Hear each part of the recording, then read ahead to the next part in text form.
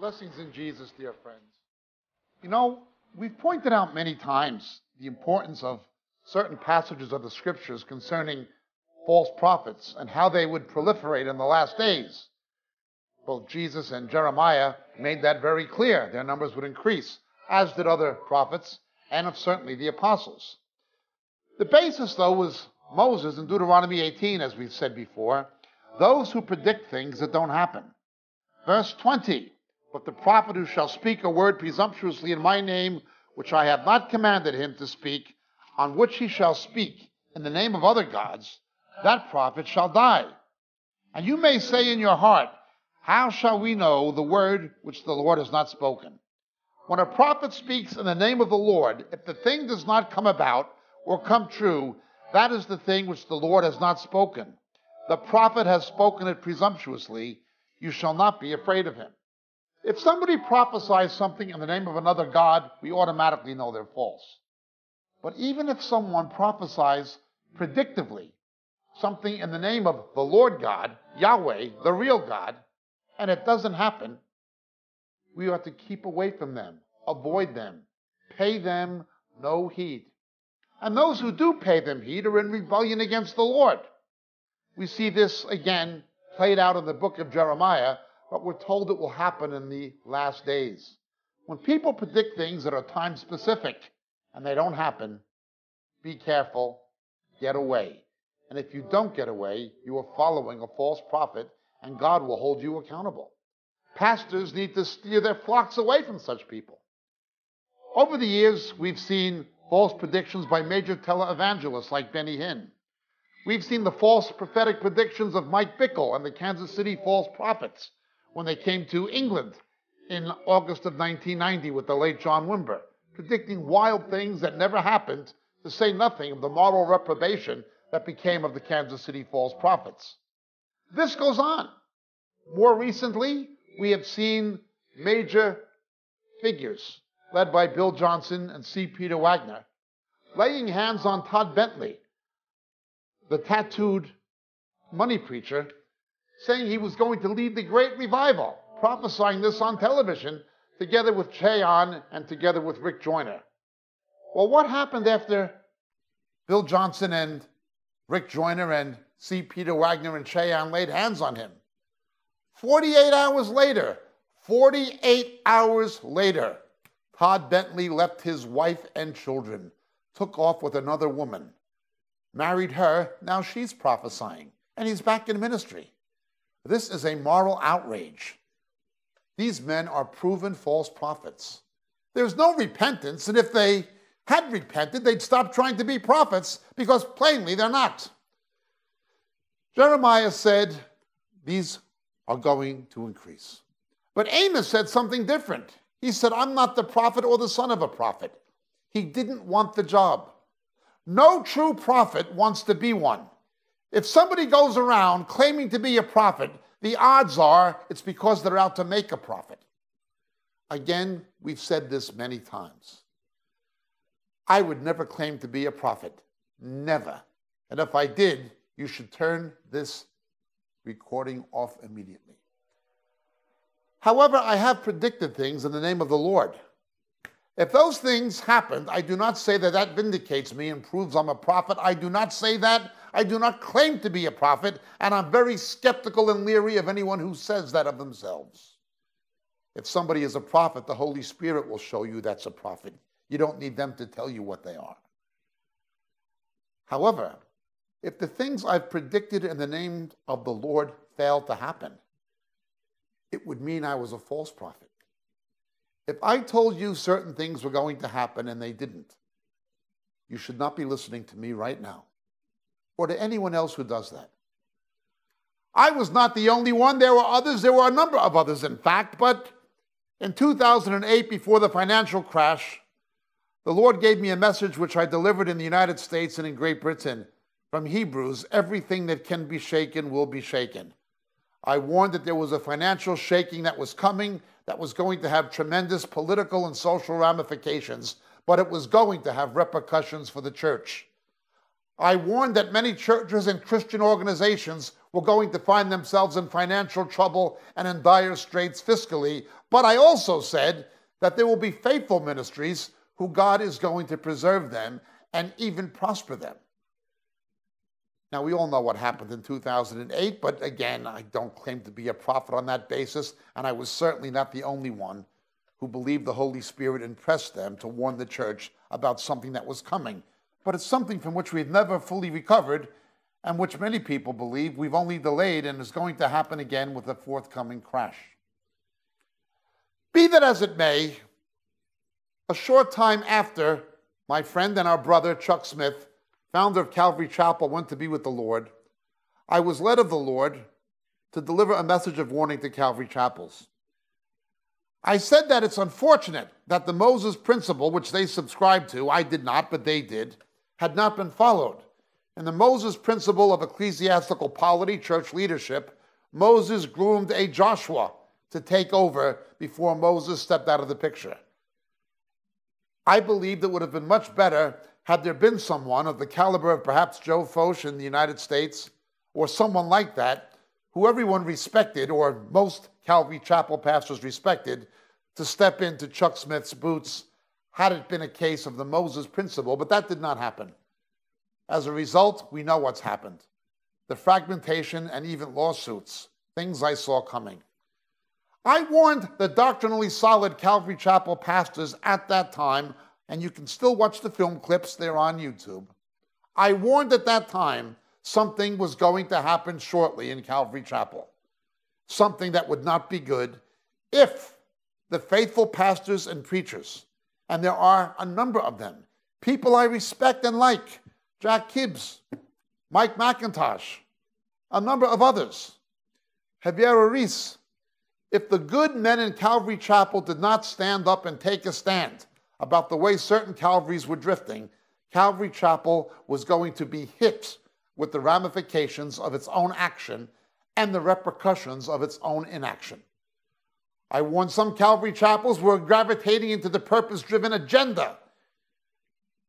People like Greg Laurie were compromising with things that Chuck Smith never would have approved of before he became old and ill.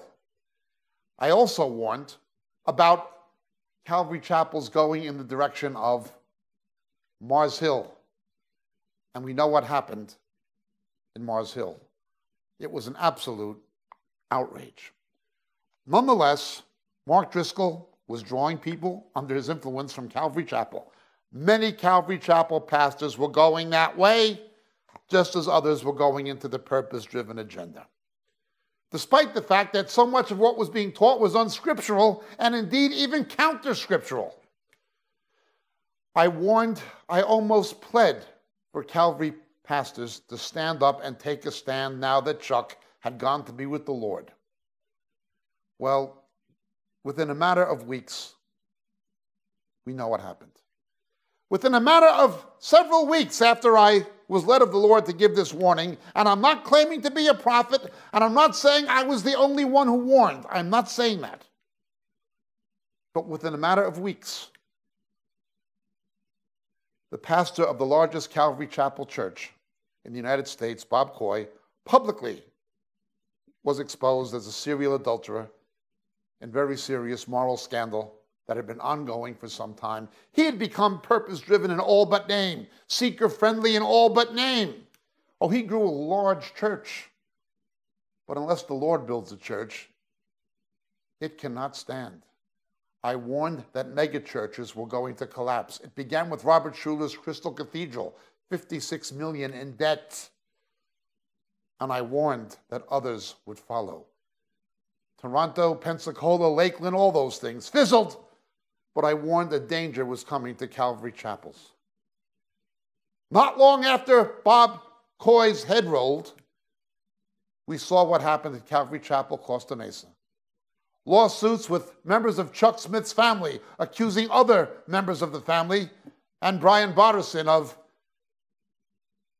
illicit and unethical behavior, some of which has been alleged to contribute to Chuck's death.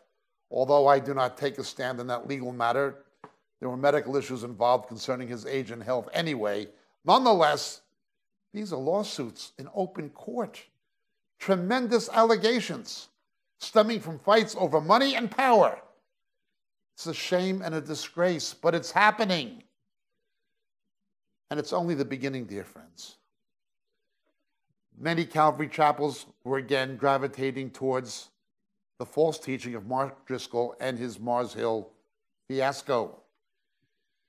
He was found in plagiarism. He was found in all manner of unethical activity. His church closed down. He was deposed in public scandal. He took resources, paid people to buy copies of his books in order to artificially manipulate them onto bestseller lists, and he got caught. On top of the vulgarity of his language and his false doctrine.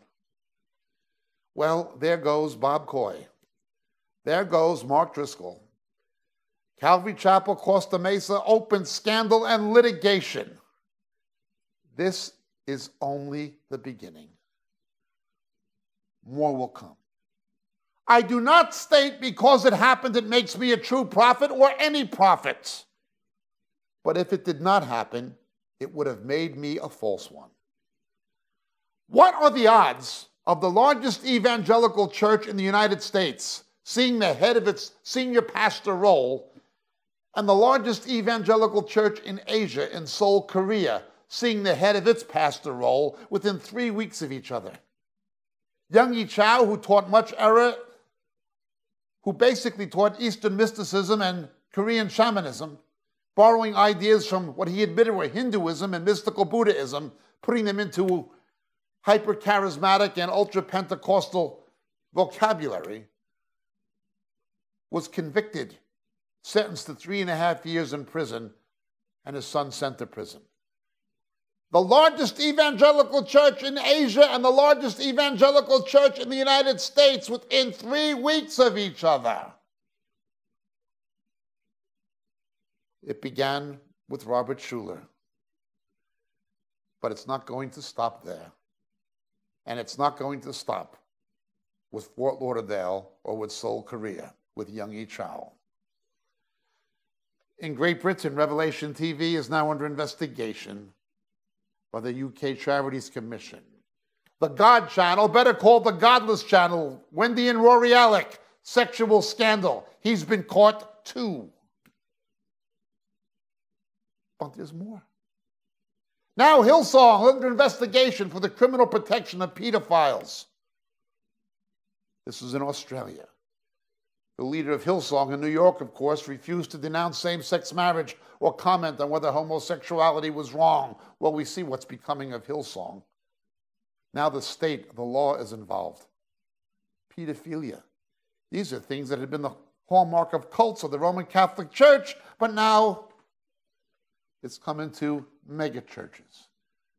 Megachurches are being rocked.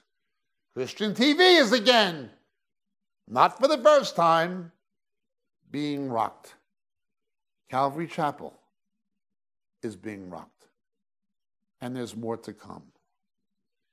It's time to face reality, dear friends. Time to face a desperate reality. There needs to be a fundamental rethinking of everything, a return to the Lord in humble repentance of the mess that has been made of everything.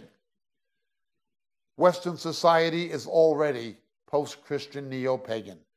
The United States, running on its inertia from its Christian past, is now going the way of Great Britain and other Protestant countries in Europe. In the Western world, that's largely over. Something has to happen. We have to realize this. To the Calvary Chapel pastors who still remain in Calvary Chapel, I've got to be honest. That movement, as you've known it, no longer exists. The same as the Assemblies of God is not what it was 25 or 30 years ago. The same as the Methodist Church is no longer the Methodist Church of John Wesley. Calvary Chapel is no longer the Calvary Chapel of Chuck Smith and never will be again. And you, the pastors, have let it happen.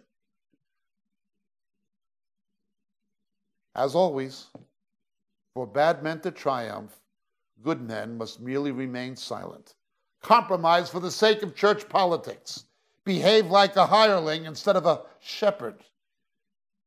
I know there are good men in Calvary chapels, and I know there are men who knew these things were wrong. But where were they? Forget about it. Protect your flock, feed your flock. The future is going to be house churches and independent congregations outside of denominational systems and movements. That's what's going to happen. Megachurches, as we've known them, have largely had their day. Unless the Lord builds a house, it cannot stand. But tragically, even things he did build are caving in. They're not dying. Calvary Chapel is not dying, it's committing suicide. That's the reality. It never should have happened. It could have been prevented and it should have been prevented, but too many Calvary pastors refused to stand up and take a stand. Now they're going to experience the result. I wish I was wrong. I wish I had been wrong. I profoundly wish I had been wrong. But unfortunately, I was not wrong. I was not misguided. I was not mistaken. The shaking is not over. There is more to come. There must be a radical rethinking with an attitude of repentance and getting back to the Word of God. We can't go back and reclaim the past as it was, but we can get back on the ancient paths.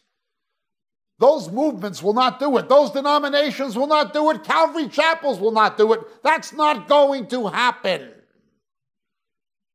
But you, Pastor, and your church can get back on the ancient path before it is too late. My name is Jacob Prasch. May God bless you and your congregation.